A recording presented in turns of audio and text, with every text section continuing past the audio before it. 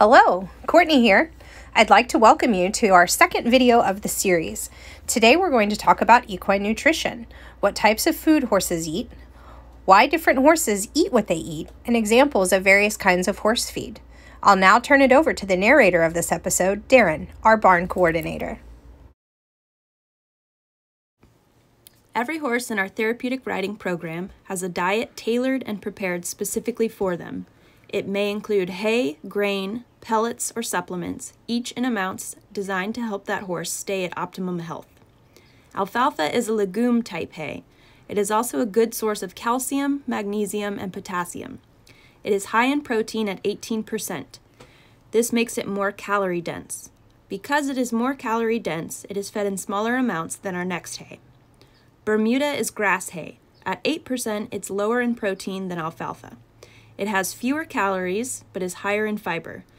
This makes it a good roughage to feed in larger quantities. It's also a great source of vitamins A and D. In nature, horses will graze on grasses for multiple hours a day. Here at Helen Woodward, we feed our horses their hay in hay nets. The smaller openings of the netting allow the horse to ingest the hay over a longer period of time, modeling the way horses would eat in the wild. Some horses, particularly senior horses, benefit from a more easily digestible source of roughage and protein. Hay pellets are created when bales of hay are chopped up and processed into the pellets you see here. Pellets can be used as a dust free source of hay for horses with respiratory issues, soaked into a mash for horses who have trouble chewing hay, or fed directly to any horse that would benefit from extra calories. There are many types of grain on the market, some for high level performance horses, some for mares and foals, some for horses on special diets. We feed a senior type feed, even though not all of our horses are seniors, because it's a great complete feed. It includes vitamins, minerals, and just enough fat and calories for our working horses. How are these meals prepared? Bales of hay are delivered to the center in bulk. Pellets and grain are delivered about every two weeks in 50 pound bags. Program staff then use the feed chart to prepare individual bags. Some of these bags will be fed directly to the horses as they were prepared. For one of our senior horses, Best Boy, there's an additional step to the process before he can eat.